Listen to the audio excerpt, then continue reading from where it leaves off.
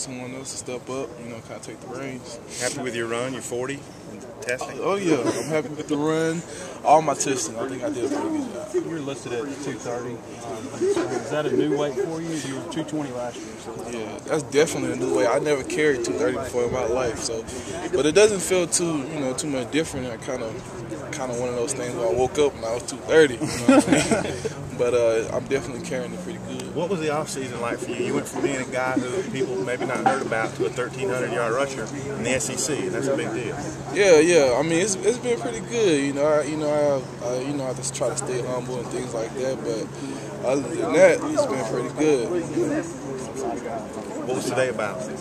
What, what was today? Do you like the energy you saw today? Oh yeah, yeah, oh yeah. We came. It's a lot of veterans out here. You know, a lot of veteran leadership. You know, took play today. Uh, I think it was a good, a good learning experience today. We learned a lot of things. Uh, trying to get the rust off, but other than that, today was pretty much good. I don't know if this was already asked, but Coach uh, kind of singled you out as one of the leaders so far on this team. How are you embracing that role this year? Uh, I'm trying to I'm trying to embrace it. You know what I mean. I'm trying to you know learn. I think a lot of the guys on the team respect me. You know what I'm saying? Like on and off the field. You know, I, I get along with everybody. There's nobody that I have a grudge against or anything like that. So when I when I speak or when I say something, you know, they usually take you know take heed to it. But um, I'm, I'm, trying to embrace that role and do as good as I can. Among the newcomers today, did you see kind of any deer in the headlights look, or were they pretty prepared?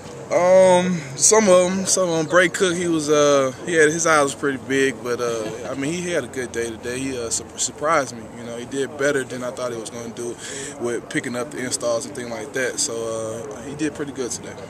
As far as, go ahead. I, I, don't know if this has been asked or not, but how does it feel to have Dennis Johnson back out there with oh, you? Oh, it's good. It's, it's, definitely. It's always good to have you know DJ with me. That's my right hand man on and off the field.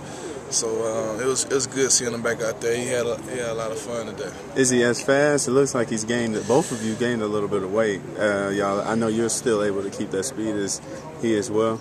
I mean, he looks pretty. He looks good on the field. As far as his 40 time, it wasn't like you know the past years, but um, you know as far as on the field, he looked good today.